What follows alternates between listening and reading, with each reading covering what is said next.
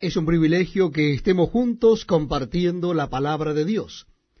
Vamos a leer en el Nuevo Testamento. Les invito a que busquen en el Evangelio según San Juan, capítulo 10. Evangelio según San Juan, capítulo 10. Leemos en la palabra de Dios. De cierto, de cierto os digo, el que no entra por la puerta en el redil de las ovejas, sino que sube por otra parte, ese es ladrón y salteador. Mas el que entra por la puerta, el pastor de las ovejas es. A éste abre el portero, y las ovejas oyen su voz, y a sus ovejas llama por nombre y las saca. Y cuando ha sacado fuera todas las propias, va delante de Elias, y las ovejas le siguen porque conocen su voz. Mas al extraño no seguirán sino huirán de él, porque no conocen la voz de los extraños. Esta alegoría les dijo Jesús, pero ellos no entendieron qué era lo que les decía. Volvió pues Jesús a decirles, De cierto, de cierto os digo, yo soy la puerta de las ovejas. Todos los que antes de mí vinieron ladrones son y salteadores, pero no los oyeron las ovejas. Yo soy la puerta. El que por mí entrare será salvo, y entrará y saldrá y hallará pastos.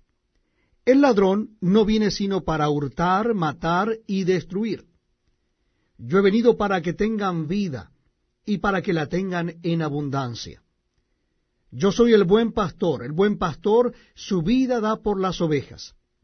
Mas el asalariado y que no es el pastor de quien no son propias las ovejas, ve venir al lobo y deja las ovejas y huye. Y el lobo arrebata las ovejas y las dispersa. Así que el asalariado huye porque es asalariado y no le importan las ovejas. Yo soy el buen pastor, y conozco mis ovejas, y las mías me conocen Así como el Padre me conoce y yo conozco al Padre y pongo mi vida por las ovejas. También tengo otras ovejas que no son de este redil, aquellas también debo traer, y oirán mi voz y habrá un rebaño y un pastor. Por eso me ama el Padre, porque yo pongo mi vida para volverla a tomar. Nadie me la quita sino que yo de mí mismo la pongo. Tengo poder para ponerla y tengo poder para volverla a tomar. Este mandamiento recibí de mi Padre. Volvió a haber disensión entre los judíos por estas palabras. Muchos de ellos decían, demonio tiene, y está fuera de sí. ¿Por qué lo oís? Decían otros, estas palabras no son de endemoniado. ¿Puede acaso el demonio abrir los ojos de los ciegos? Celebrábase en Jerusalén la fiesta de la dedicación. Era invierno, y Jesús andaba en el templo por el pórtico de Salomón. Y le rodearon los judíos y le dijeron, ¿Hasta cuándo nos turbarás el alma? Si tú eres el Cristo, dínoslo abiertamente. Jesús les respondió, Os lo he dicho y no creéis. Las obras que yo hago en nombre de mi Padre, ellas dan testimonio de mí. Pero vosotros no creéis, porque no sois de mis ovejas, como os he dicho. Mis ovejas oyen mi voz, y yo las conozco y me siguen, y yo les doy vida eterna, y no perecerán jamás, ni nadie las arrebatará de mi mano. Mi Padre que me las dio es mayor que todos, y nadie las puede arrebatar de la mano de mi Padre yo y el Padre uno somos. Entonces los judíos volvieron a tomar piedras para apedrearle. Jesús le respondió, Muchas buenas obras os he mostrado de mi Padre. ¿Por cuál de ellas me apedreáis? Le respondieron los judíos diciendo, Por buena obra no te apedreamos, sino por la blasfemia, porque tú, siendo hombre, te haces Dios. Jesús le respondió, ¿no está escrito en vuestra ley, yo dije, dioses sois? Si llamó dioses a aquellos a quienes vino la palabra de Dios, y la escritura no puede ser quebrantada. Al que el Padre santificó y envió al mundo, vosotros decís, tú blasfemas porque dije, Hijo de Dios soy. Si no hago las obras de mi Padre, no me creáis. Mas si las hago, aunque no me creáis a mí, creed a las obras, para que conozcáis y creáis que el Padre está en mí y yo en el Padre. Procuraron otra vez prenderle, pero él se escapó de sus manos. Y se fue de nuevo al otro lado del Jordán, al lugar donde primero había estado bautizando Juan, y se quedó allí. Y muchos venían a él y decían, Juan a la verdad ninguna señal hizo, pero todo lo que Juan dijo de éste era verdad. Y muchos creyeron en él allí. Dedicamos este tiempo a compartir la lectura de la palabra de Dios. Bienvenidos amigos.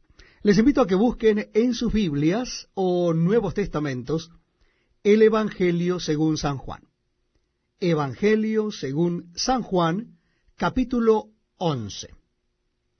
Repito, la cita bíblica es Evangelio según San Juan, capítulo 11. Comenzamos en el versículo primero. Estaba entonces enfermo uno llamado Lázaro de Betania, la aldea de María y de Marta su hermana. María, cuyo hermano Lázaro estaba enfermo, fue la que ungió al Señor con perfume y le enjugó los pies con sus cabellos. Enviaron pues las hermanas para decir a Jesús, Señor, he aquí, el que amas está enfermo. Oyéndolo Jesús dijo, esta enfermedad no es para muerte, sino para la gloria de Dios, para que el Hijo de Dios sea glorificado por ella. Llamaba Jesús a Marta, a su hermana y a Lázaro. Cuando oyó pues que estaba enfermo, se quedó dos días más en el lugar donde estaba. Luego, después de esto, dijo a los discípulos, Vamos a Judea otra vez. Le dijeron los discípulos, Rabí, ahora procuraban los judíos apedrearte, ¿y otra vez vas allá? Respondió Jesús, ¿no tiene el día doce horas? El que anda de día no tropieza, porque ve la luz de este mundo. Pero el que anda de noche tropieza porque no hay luz en él. Dicho esto, les dijo después, Nuestro amigo Lázaro duerme, mas voy para despertarle. Dijeron entonces sus discípulos, Señor, si duerme, sanará. Pero Jesús decía esto de la muerte de Lázaro, y ellos pensaron que hablaba del reposar del sueño. Entonces Jesús les dijo claramente, Lázaro ha muerto, y me alegro por vosotros de no haber estado allí, para que creáis. Mas vamos a él. Dijo entonces Tomás, llamado Dídimo, a sus condiscípulos, Vamos también nosotros, para que muramos con él. Vino pues Jesús, y halló que hacía ya cuatro días que Lázaro estaba en el sepulcro. Betania estaba cerca de Jerusalén como a quince estadios, y muchos de los judíos habían venido a Marta y a María para consolarlas por su hermano. Entonces Marta, cuando oyó que Jesús venía, salió a encontrarle pero María se quedó en casa. Y Marta dijo a Jesús, Señor, si hubieses estado aquí, mi hermano no habría muerto. Mas también sé ahora que todo lo que pidas a Dios, Dios te lo dará. Jesús le dijo, tu hermano resucitará. Marta le dijo, yo sé que resucitará en la resurrección, en el día postrero. Le dijo Jesús, yo soy la resurrección y la vida. El que cree en mí, aunque esté muerto, vivirá. Y todo aquel que vive y cree en mí no morirá eternamente. ¿Crees esto? Le dijo, sí, Señor, yo he creído que tú eres el Cristo, el Hijo de Dios, que has venido al mundo. Habiendo dicho esto, fue y llamó a María su hermana, diciéndole en secreto, El Maestro está aquí y te llama. Elia, cuando lo oyó, se levantó de prisa y vino a él. Jesús todavía no había entrado en la aldea, sino que estaba en el lugar donde Marta le había encontrado. Entonces los judíos que estaban en casa con ella y la consolaban, cuando vieron que María se había levantado de prisa y había salido, la siguieron diciendo, va al sepulcro a llorar allí. María cuando llegó a donde estaba Jesús al verle, se postró a sus pies diciéndole, Señor, si hubieses estado aquí, no habría muerto mi hermano. Jesús entonces, al verla llorando, y a los judíos que la acompañaban también llorando, se estremeció en espíritu y se conmovió, y dijo, ¿Dónde le pusisteis? Le dijeron, Señor, ven y ve. Jesús lloró. Dijeron entonces los judíos, mirad cómo le amaba. Y algunos de ellos dijeron, ¿no podía éste que abrió los ojos al ciego haber hecho también que Lázaro no muriera? Jesús, profundamente conmovido otra vez, vino al sepulcro. Era una cueva y tenía una piedra puesta encima. Dijo Jesús, quitad la piedra. Marta, la hermana del que había muerto, le dijo, Señor, hiede ya, porque es de cuatro días. Jesús le dijo, ¿no te he dicho que si crees verás la gloria de Dios? Entonces quitaron la piedra de donde había sido puesto el muerto, y Jesús, alzando los ojos a lo alto, dijo, Padre, gracias te doy por haberme oído. Yo sabía que siempre me oyes, pero lo dije por causa de la multitud que está alrededor, para que crean que tú me has enviado. Y habiendo dicho esto, clamó a gran voz, Lázaro, ven fuera. Y el que había muerto salió atadas las manos y los pies con vendas, y el rostro envuelto en un sudario. Jesús le dijo, desatadle y dejadle ir. Entonces muchos de los judíos que habían venido para acompañar a María y vieron lo que hizo Jesús, creyeron en él. Pero algunos de ellos fueron a los fariseos y les dijeron lo que Jesús había hecho. Entonces los principales sacerdotes y los fariseos reunieron el concilio y dijeron, ¿qué haremos? Porque este hombre hace muchas señales. Si le dejamos así, todos creerán en él, y vendrán los romanos y destruirán nuestro lugar santo y nuestra nación. Entonces Caifás, uno de ellos, sumo sacerdote aquel año, les dijo, Vosotros no sabéis nada, ni pensáis que nos conviene que un hombre muera por el pueblo, y no que toda la nación perezca. Esto no lo dijo por sí mismo, sino que era el sumo sacerdote aquel año, y profetizó que Jesús había de morir por la nación, y no solamente por la nación, sino también para congregar en uno a los hijos de Dios que estaban dispersos. Así que desde aquel día acordaron matarle. Por tanto Jesús ya no andaba abiertamente entre los judíos, sino que se alejó de allí a la región contigua, al desierto, a una ciudad llamada Efraín, y se quedó allí con sus discípulos. Y estaba cerca la Pascua de los judíos, y muchos subieron de aquella región a Jerusalén antes de la Pascua para purificarse, y buscaban a Jesús. Y estando ellos en el templo, se preguntaban unos a otros, ¿qué os parece? ¿No vendrá a la fiesta? Y los principales sacerdotes y los fariseos habían dado orden de que si alguno supiese dónde estaba, lo manifestase para que le prendiesen. Estamos compartiendo la lectura de la palabra de Dios en el Nuevo Testamento. Les invito a que busquen en sus Biblias el capítulo 12 del Evangelio según San Juan. Capítulo 12 del Evangelio según San Juan. Dice así la palabra de Dios. Seis días antes de la Pascua vino Jesús a Betania, donde estaba Lázaro, el que había estado muerto, y a quien había resucitado de los muertos. Y le hicieron allí una cena. Marta servía, y Lázaro era uno de los que estaban sentados a la mesa con él. Entonces María tomó una libra de perfume de nardo puro, de mucho precio, y ungió los pies de Jesús, y los enjugó con sus cabellos, y la casa se llenó del olor del perfume. Y dijo uno de sus discípulos, Judas Iscariote, hijo de Simón, el que le había de entregar. ¿Por qué no fue este perfume vendido por trescientos denarios y dado a los pobres? Pero dijo esto no porque se cuidara de los pobres, sino porque era ladrón, y teniendo la bolsa, sustraía de lo que se echaba en ella.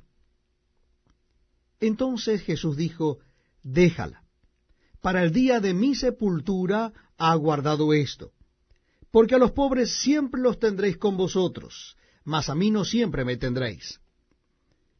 Gran multitud de los judíos supieron entonces que él estaba allí, y vinieron no solamente por causa de Jesús, sino también para ver a Lázaro, a quien había resucitado de los muertos. Pero los principales sacerdotes acordaron dar muerte también a Lázaro, porque a causa de él muchos de los judíos se apartaban y creían en Jesús. El siguiente día, grandes multitudes que habían venido a la fiesta al oír que Jesús venía a Jerusalén, tomaron ramas de palmeras y salieron a recibirle, y clamaban, Hosanna, bendito el que viene en el nombre del Señor, el Rey de Israel. Y halló Jesús un asnillo, y montó sobre él, como está escrito. No temas, hija de Sión, he aquí tu rey viene, montado sobre un pollino de asna. Estas cosas no las entendieron sus discípulos al principio, pero cuando Jesús fue glorificado, entonces se acordaron de que estas cosas estaban escritas acerca de él y de que se las habían hecho. Y daba testimonio la gente que estaba con él cuando llamó a Lázaro del sepulcro y le resucitó de los muertos. Por lo cual también había venido la gente a recibirle, porque había oído que él había hecho esta señal. Pero los fariseos dijeron entre sí, ya veis que no conseguís nada. Mirad, el mundo se va tras él. Había ciertos griegos entre los que habían subido a adorar en la fiesta. Estos, pues, se acercaron a Felipe, que era de Bethsaida, de Galilea, y le rogaron diciendo, Señor, quisiéramos ver a Jesús. Felipe fue y se lo dijo a Andrés. Entonces Andrés y Felipe se lo dijeron a Jesús. Jesús le respondió diciendo, Ha llegado la hora para que el Hijo del Hombre sea glorificado. De cierto, de cierto os digo, que si el grano de trigo no cae en la tierra y muere, queda solo, pero si muere, lleva mucho fruto. El que ama su vida, la perderá y el que aborrece su vida en este mundo, para vida eterna la guardará. Si alguno me sirve, sígame, y donde yo estuviere, allí también estará mi servidor. Si alguno me sirviere, mi Padre le honrará. Ahora está turbada mi alma. ¿Y qué diré? Padre, sálvame de esta hora mas para esto he llegado a esta hora. Padre, glorifica tu nombre.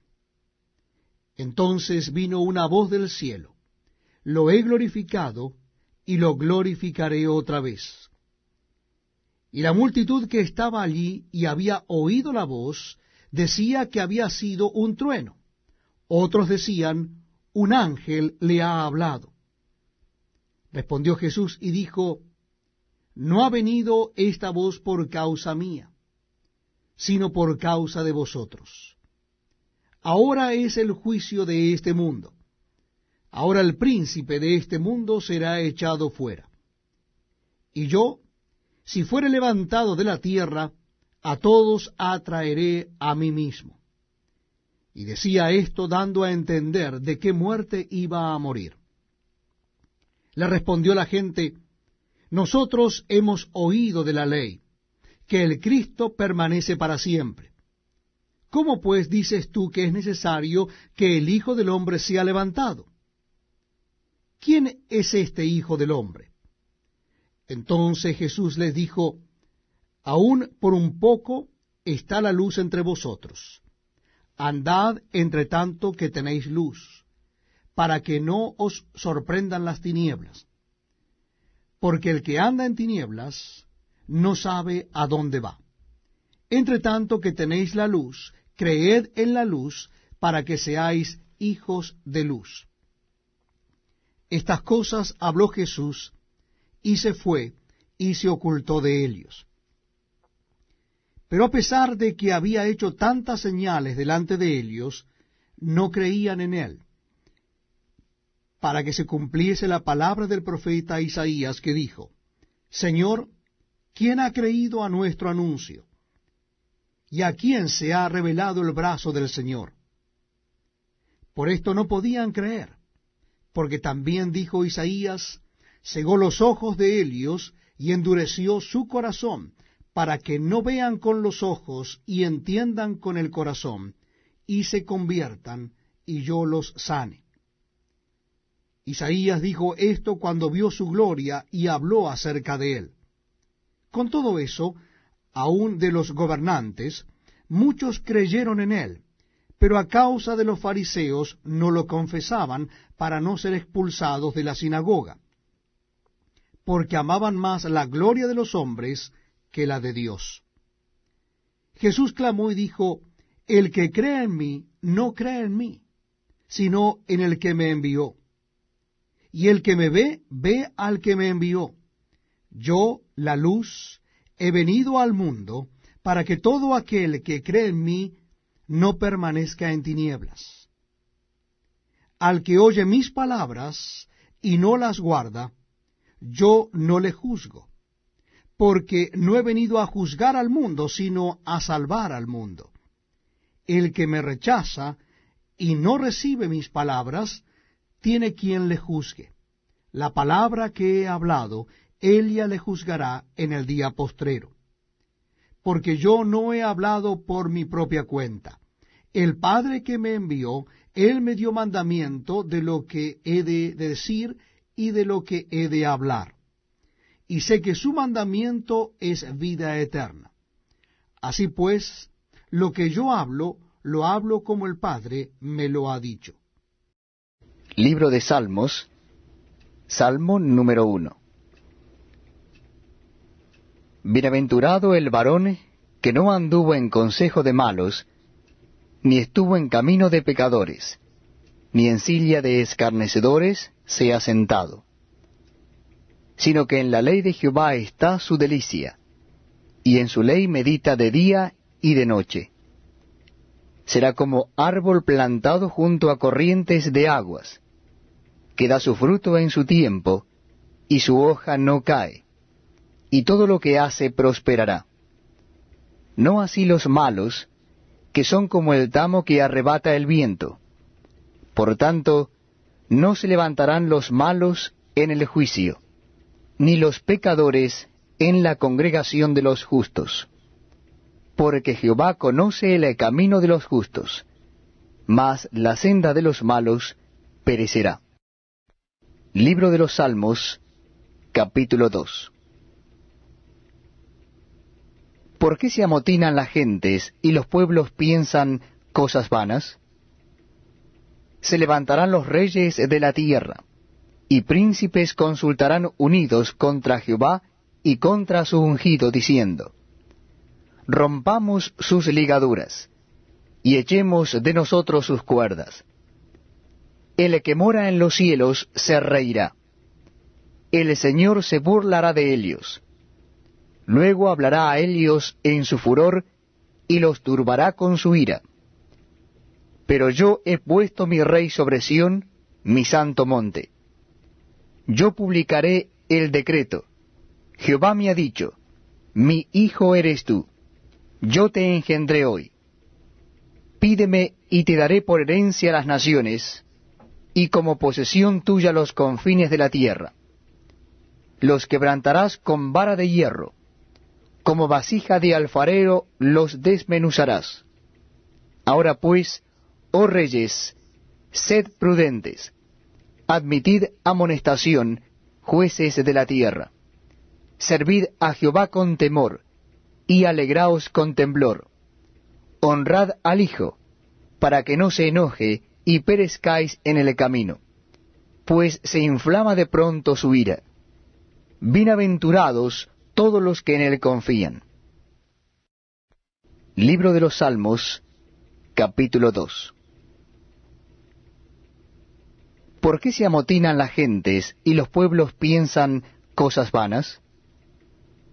Se levantarán los reyes de la tierra, y príncipes consultarán unidos contra Jehová y contra su ungido, diciendo, Rompamos sus ligaduras, y echemos de nosotros sus cuerdas. El que mora en los cielos se reirá. El Señor se burlará de ellos. Luego hablará a ellos en su furor, y los turbará con su ira. Pero yo he puesto mi rey sobre Sión, mi santo monte. Yo publicaré el decreto Jehová me ha dicho, mi hijo eres tú, yo te engendré hoy. Pídeme y te daré por herencia las naciones, y como posesión tuya los confines de la tierra. Los quebrantarás con vara de hierro, como vasija de alfarero los desmenuzarás. Ahora pues, oh reyes, sed prudentes, admitid amonestación, jueces de la tierra servid a Jehová con temor, y alegraos con temblor. Honrad al Hijo, para que no se enoje y perezcáis en el camino, pues se inflama de pronto su ira. Bienaventurados todos los que en él confían. Libro de Salmos, capítulo 3 Oh Jehová, cuánto se han multiplicado mis adversarios Muchos son los que se levantan contra mí. Muchos son los que dicen de mí, no hay para él salvación en Dios. Sela. Mas tú, Jehová, eres escudo alrededor de mí, mi gloria y el que levanta mi cabeza. Con mi voz clamé a Jehová, y él me respondió desde su monte santo. Sela. Yo me acosté y dormí, y desperté porque Jehová me sustentaba. No temeré a diez millares de gente que pusieren sitio contra mí. Levántate, Jehová, sálvame, Dios mío, porque tú heriste a todos mis enemigos en la mejilla, los dientes de los perversos quebrantaste.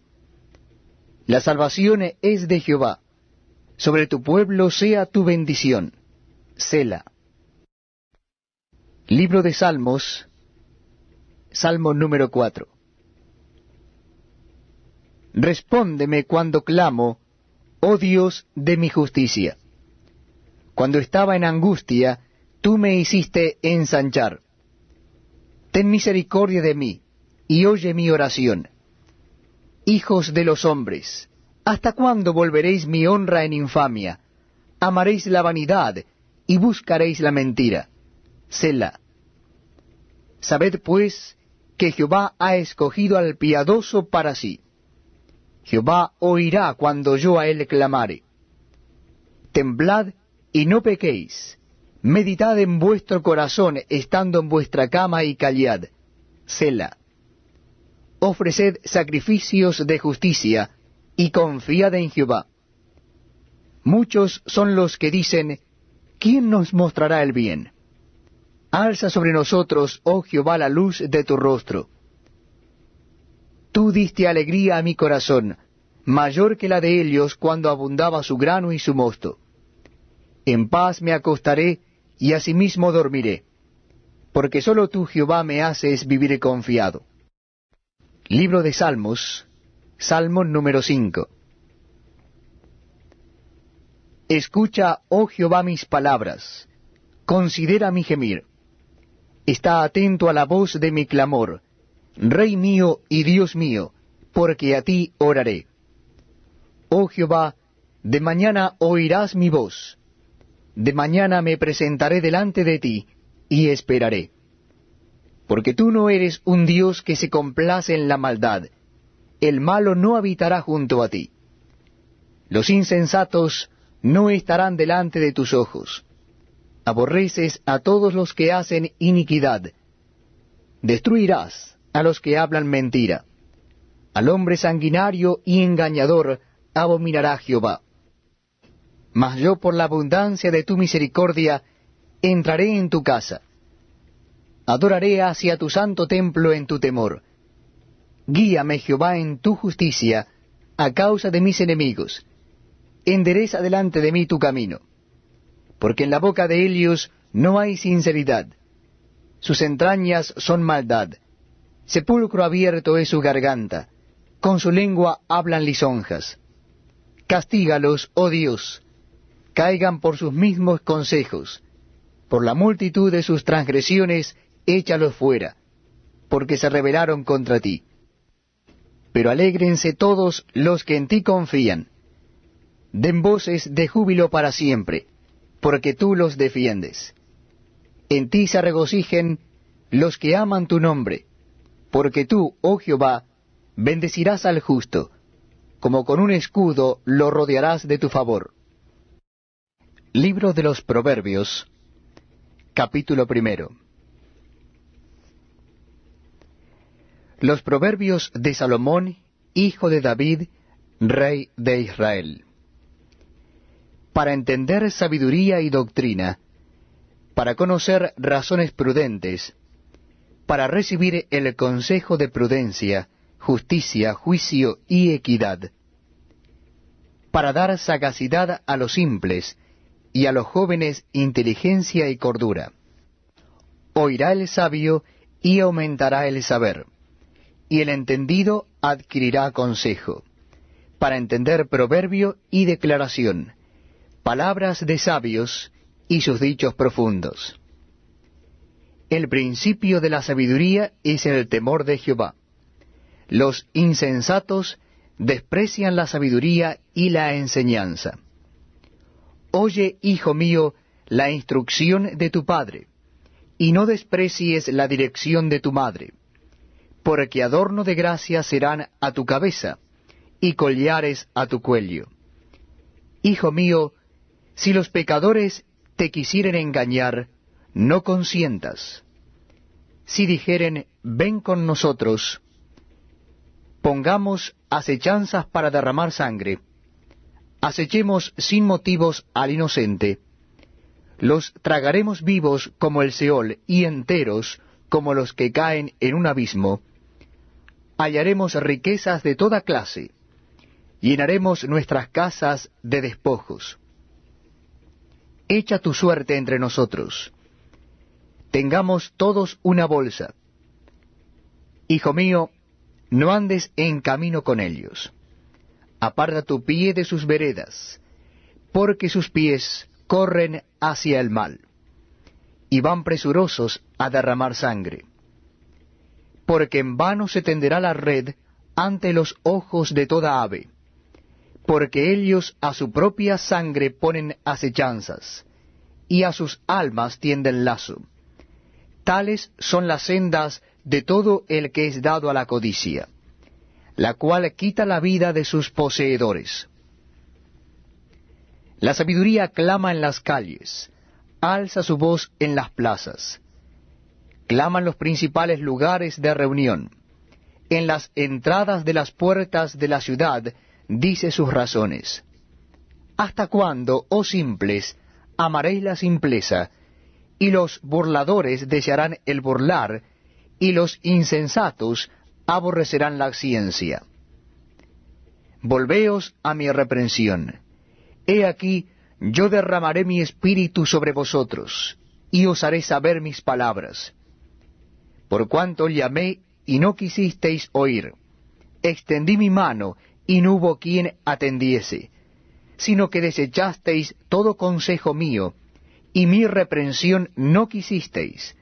También yo me reiré en vuestra calamidad, y me burlaré cuando os viniere lo que teméis. Cuando viniere como una destrucción lo que teméis, y vuestra calamidad llegare como un torbellino. Cuando sobre vosotros viniere tribulación y angustia, entonces me llamarán y no responderé. Me buscarán de mañana y no me hallarán, por cuanto aborrecieron la sabiduría. y no escogieron el temor de Jehová, ni quisieron mi consejo, y menospreciaron toda reprensión mía. Comerán del fruto de su camino, y serán hastiados de sus propios consejos. Porque el desvío de los ignorantes los matará, y la prosperidad de los necios los echará a perder. Mas el que me oyere habitará confiadamente, y vivirá tranquilo, sin temor del mal.